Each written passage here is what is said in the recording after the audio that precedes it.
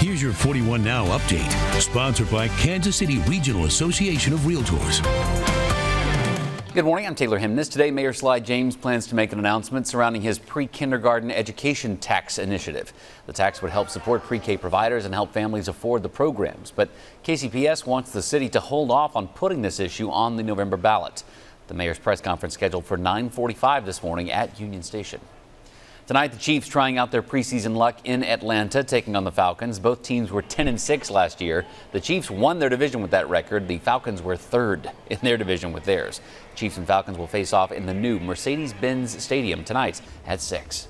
Did you know not all real estate agents are the same? Look for the Realtor logo to be certain you have a qualified advocate on your side. Visit kcrar.com for more information.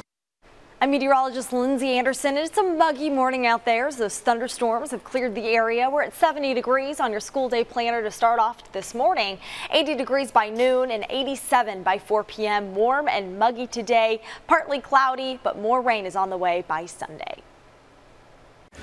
Kansas City, are you ready for a pigskin party? Every Monday, we're tackling every game in our new podcast. Plus, stay in the know with your hometown team. Sign up for our weekly newsletter, and when you do, you could win $200 to buy tickets to a game. Go! Go! Just head to kshb.com slash Chiefs and sign up today.